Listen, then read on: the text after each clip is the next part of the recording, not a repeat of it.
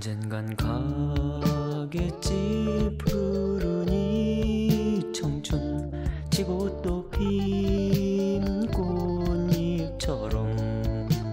무슨 죄가 있어서 당했다면 억울하진 않겠지만은 아무 의미 없이 돌아가셨잖아요. 내 젊은 영가가 구슬퍼. 가고 없는